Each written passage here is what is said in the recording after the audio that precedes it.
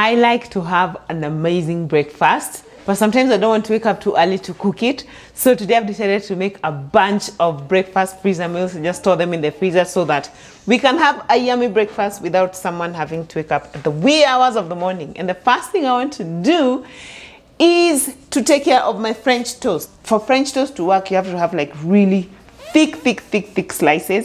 And that's why I prefer to make my own homemade bread. I've done a video showing how to do this. If you're interested, you can check it out. So this was rising in my oven for about an hour.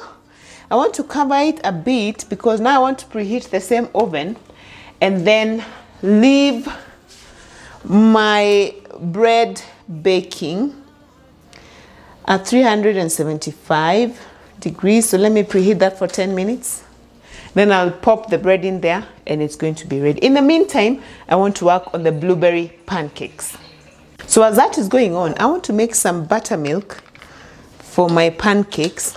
Using buttermilk is better than actually using milk because it just makes your butter to be a bit, the pancakes to be more fluffy. So I have three cups of milk and I'm putting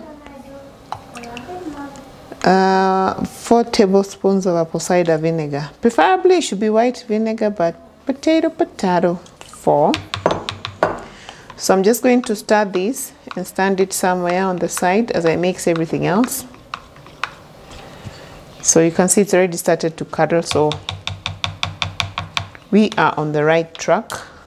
So now I want to whisk my dry ingredients because I really want my pancakes to be fluffy, I'm going to sieve my flour. You don't have to do it, absolutely don't have to.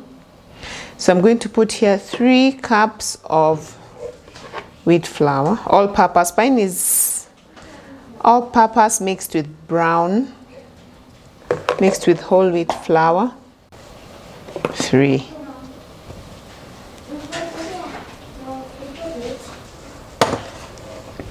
Then I'm going to add five tablespoons of sugar. One, two, four, five. Then one and a half teaspoons of baking soda. One and a half. A teaspoon of salt. Okay there we go. Mix this up.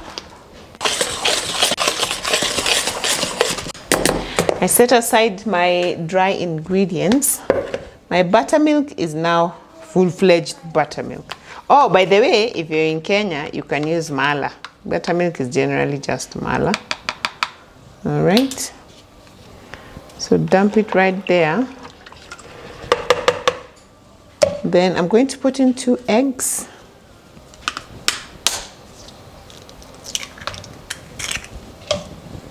One, second egg there. And lastly, two teaspoons of vanilla.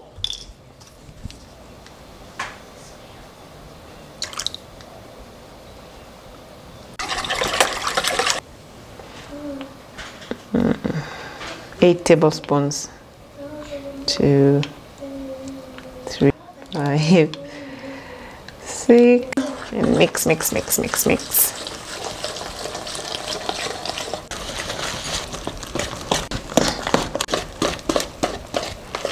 So my oven is preheated. Let me put in the bread. And then we continue. Yeah, it's nice and warm. And there we have it. Blueberries. And fold them in.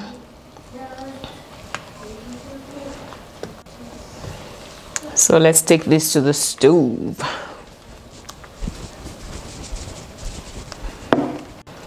I'm putting a little bit of olive oil just so that it doesn't stick.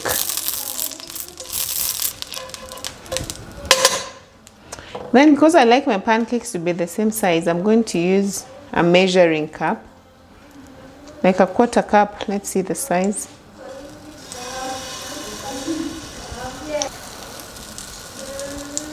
It's not a bad size. And this way I can make two. I hope I can make two. So you know your pancake is done when it's on the other side when it starts bubbling here on top. And the edges start looking a bit firm.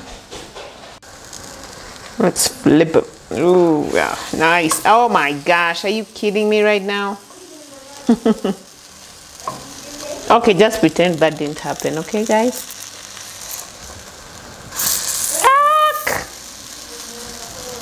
First ones are always for the chef anyway. And we're done. See how they look at the bottom? Ooh, nice.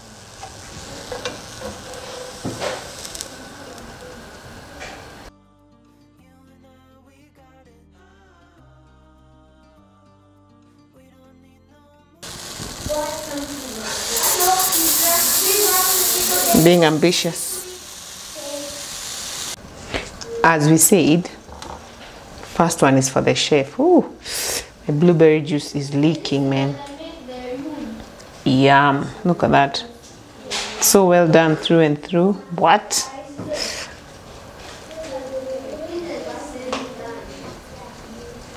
Mm. really nice the sugar is great not too much but just enough. Because sometimes you don't like to put syrup so.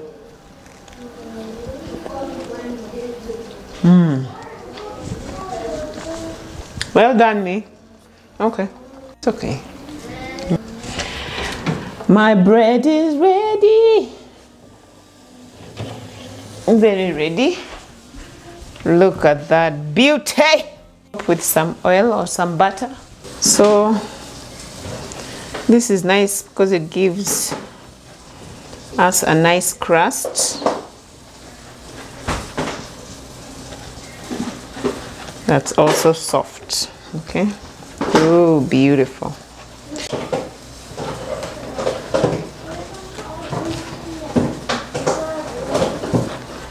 So let it rest here for like 10 minutes, and then we'll remove it from the baking tray.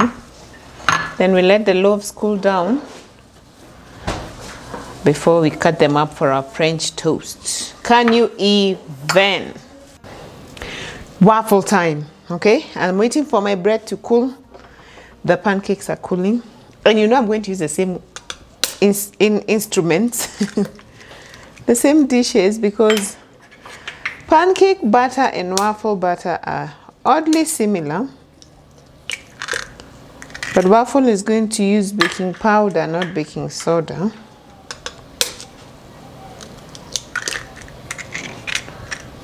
So yeah let's get this done. So into this I'm going to put three cups of our flour the same one eh? because I'm extra I'm going to sieve mine. You don't have to.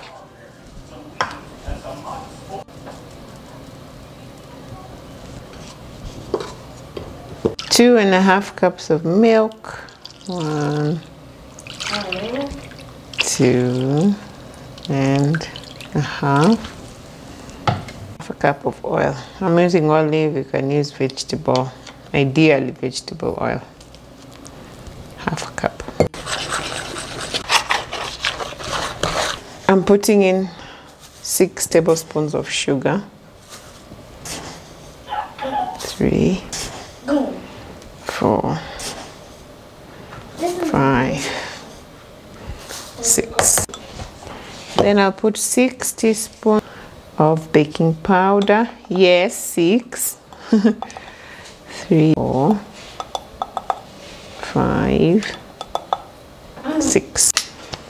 Then we need like a half a teaspoon of salt.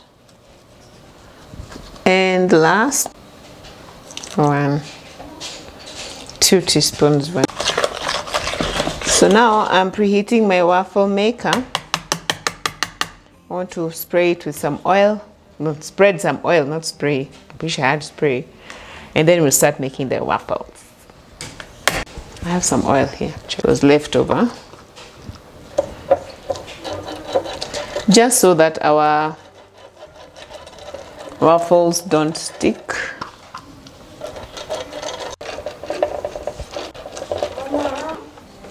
yeah so we wait for the green light to come on so once the green light has come on then we'll know we can put our first waffle you can get a waffle from Jumia if you're in Kenya or Amazon of course if you're not or if you are so now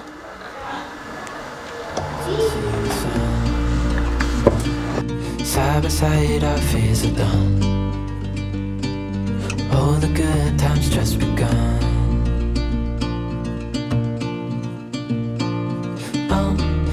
We know what we have, let's hold on tight. Found what we're looking for in life. Call us crazy, but things are finally right. With you and I, the future is bright.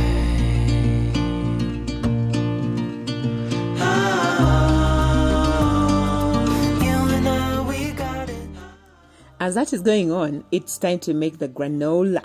I'm using 6 cup of oats and 2 cups of mixed crushed nuts. Today I have cashews and almonds, which I'm chopping because they're a bit big. I don't know why I didn't choose my food processor, but you know, I like to make my life hard sometimes. Hear the crickets, see the moon. Side by side and through and through. No limit to what we can do.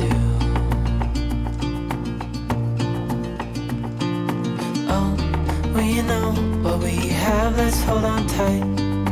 Found what we're looking for in life.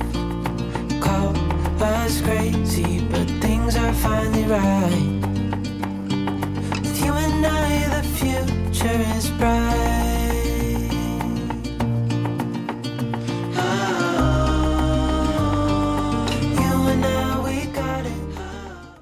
To this, I'm also going to add 2 teaspoons of cinnamon and half a teaspoon of salt and mix this up.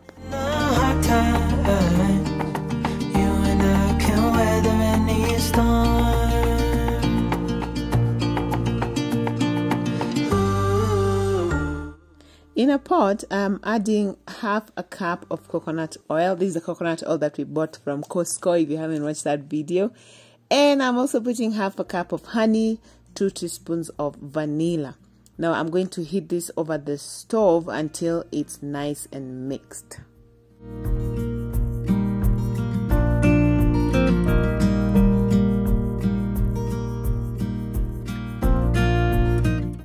Once the oil and the honey and the vanilla have melted and mixed very well, I'm going to pour this mixture while still slightly warm into the dry ingredients and mix well. Once they have incorporated very well, I want to pour on my lined baking tray.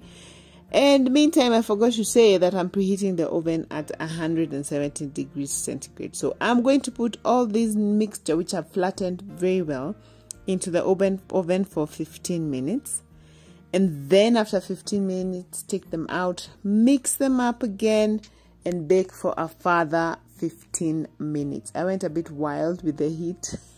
So they got burnt a bit but yeah 170 degrees centigrade i think is a sweet spot. But keep an eye on them. Ovens are different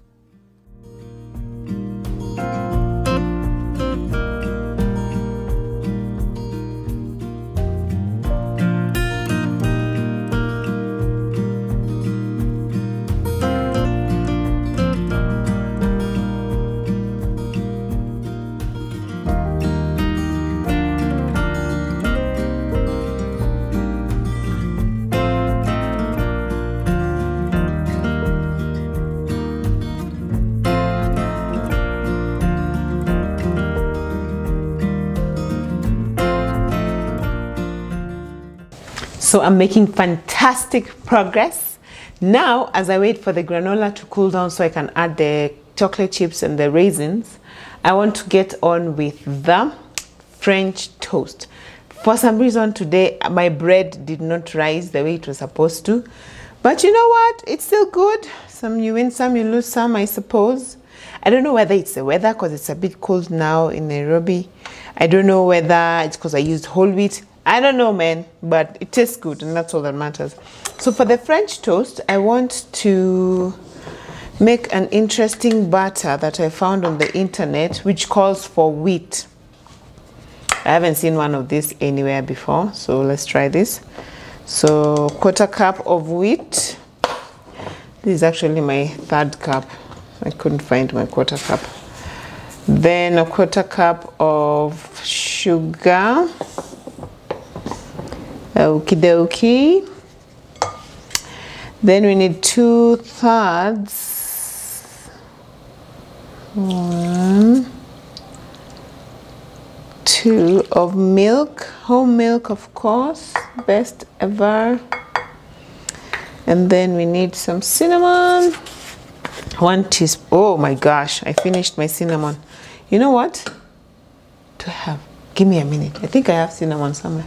So I have some, some cinnamon here from when we were doing the kitchen makeover. I ran out of glass jars and would you believe it? I've never gone to buy more salt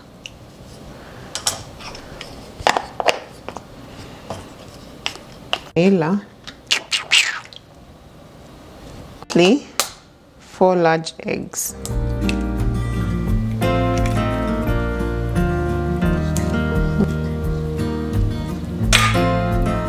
To a beautiful butter that we're going to use to toast our bread.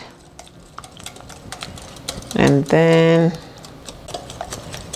but then if you don't want to make your own bread if you go like to supermarket like Naivas you can ask them to give you one loaf before they've sliced it because I find like the slices of the normal bread is just such tiny slices. Those ones honestly they don't work for me. But they can give you a whole loaf before they have sliced it then you come and slice for yourself.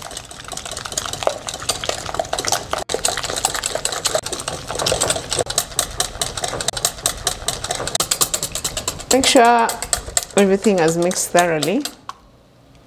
I think the thing else because I've ended up with a bit of lumps that I've worked very hard to remove. Anyway it was a good arm workout. So now I'm preheating my pan. In the meantime I want to transfer this mixture to my this baking dish because it's flat enough and then I'll be able to coat my bread better okay? Look at all those lumps, man. Now we know now we know so let's go to the fire.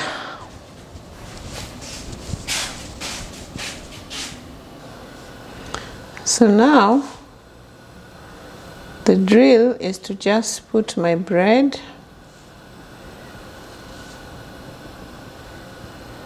put it on both sides. You see why you need thick bread? Because any of those tiny slices would have already torn by now uh -huh. drain out the excess and straight to the fire yeah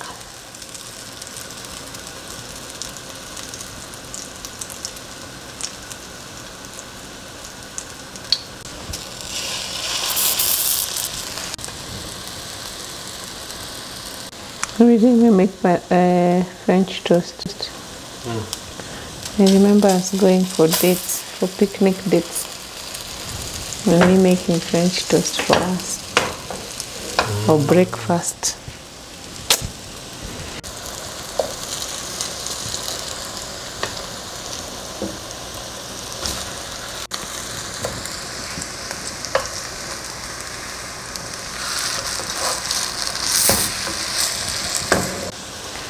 So now when they're ready, I want to put it on the cooling rack, not to stack them with all of these ingredients, the waffles, the pancakes, because they're for the, for the freezer, we don't want to put them one on top of the other because we want them to dry individually, which is the same way we are going to actually freeze them. We're going to freeze them flat, put them like on a tray and freeze them for like two, three hours. Then once they're pre-frozen then now we can put them in a bag Because if you put them in a bag right now, the way they are, and put them in the freezer, they're going to stick to one another. And nobody wants that. Okay? So remember that if you try this. Two.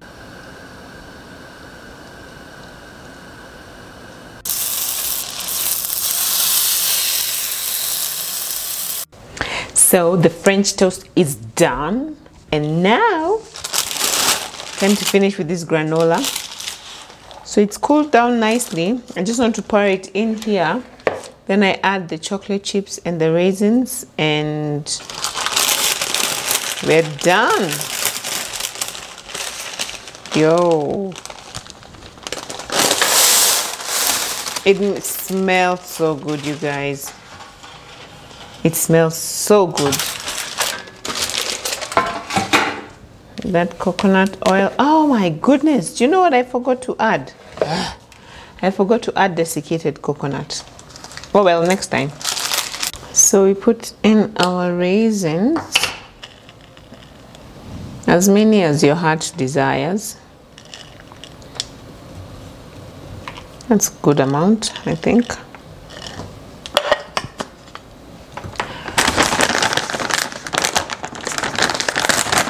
And our chalk chips. Again as many as you want. Ah, these are huge. Maybe I should chop them up a bit. I just feel it will be better when they're a bit smaller you know? We are trying to go healthy. So you can uh, top this granola. You can put it on top of your yogurt. You can have it as cereal you can have it as a dry snack. Kids love it. We love to put it over ice cream. Oh my goodness, it's such a hit. It, or just toss it with the rest of your cereal, like if you're having what? Cornflakes, Weetabix. Just toss it in there for some added fiber and sweetness. Some chocolate.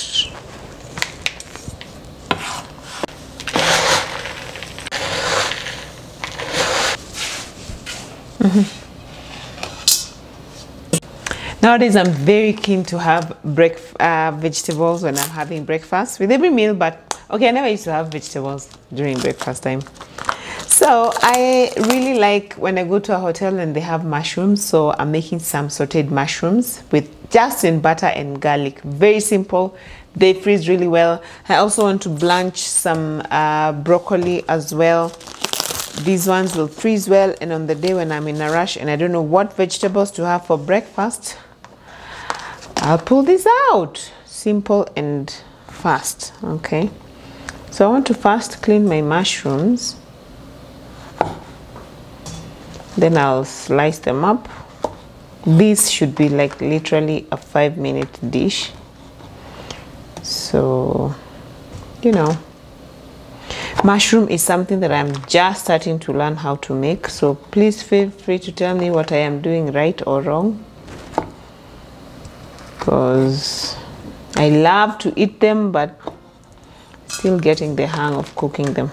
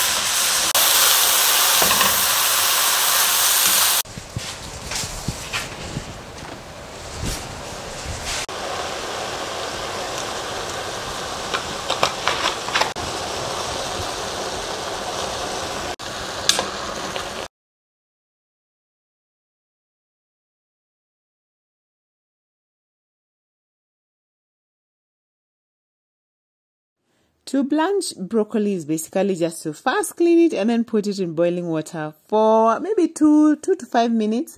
So, because I want it to soft to cook but not to get too soft, I want it to remain crunchy because obviously when I'll be reheating it, it's also going to get a bit cooked. So I don't want it to be like a soggy mess. So I want the broccoli to remain a bit crunchy but nicely done.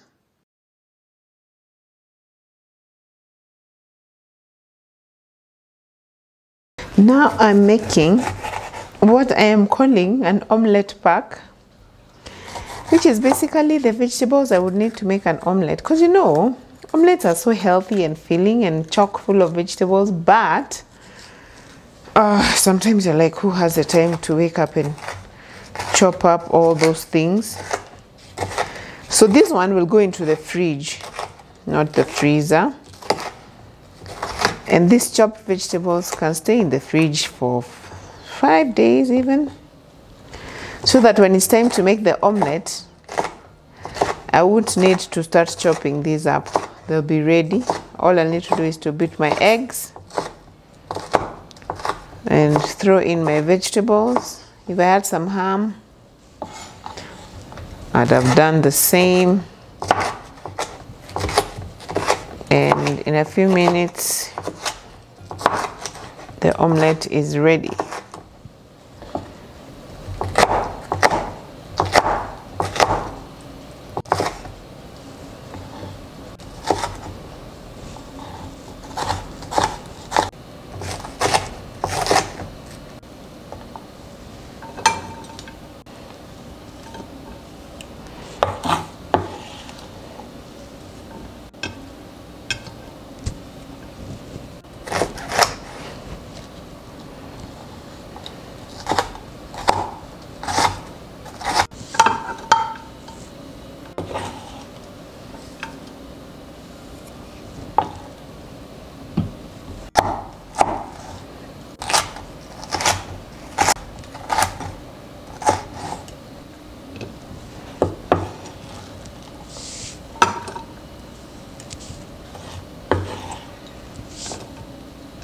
omelets to also be a great way to get rid of old vegetables that you haven't used. Like now I found these courgettes in a in the fridge in the freezer in the fridge. And I'm just going to add it to my omelette pack so that we don't waste food. But I'm going to cut them really small.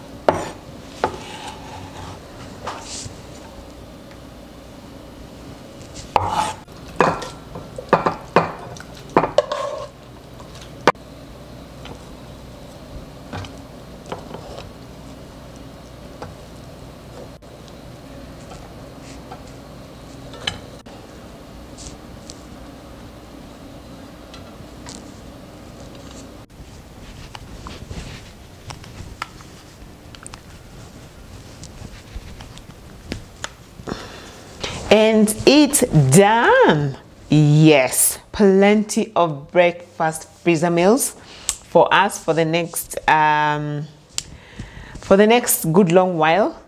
So here i have the waffles. They came out pretty nicely. So to freeze the waffles and the pancakes and the um, french toast i'm going to put them on a tray in one layer in the freezer and then once they have frozen for like two three hours then I can be able to put them in a freezer bag or I can wrap them individually and put them in a freezer bag and to reheat them the microwave is my go-to very easy one minute and you're done. Put your toppings, enjoy your breakfast. Can you imagine breakfast in one minute? Huh? When your kids are rushing off to school, they're rushing off to work, everybody's rushing off to somewhere. Fantastic. So, yes, the waffles are ready. The blueberry pancakes, we've already tasted a few with the kiddos. Loved, loved, loved them so much. Um, my sauteed mushrooms, oh my goodness. I'm so jazzed that I have some vegetables in the freezer for me for breakfast and the blanched broccoli. This will also freeze very well. We've already talked about the French toast. I have my omelette starter pack. This should be enough to make omelets for our whole household of seven for one morning. So this will go into the fridge, not the freezer. And finally, we have our granola baby. Yes, plenty, plenty of granola here. This should also last us a long while. You can also freeze granola, just put in a Ziploc bag in a freezer for like three months, four months, and you're good to go. Thank you so much for hanging out. I also make our dinner freezer meals. I love to do it for like a month or even up to six weeks and I'm feeling ambitious. And that's the video that you should watch next. So I'll see you over there. Bye.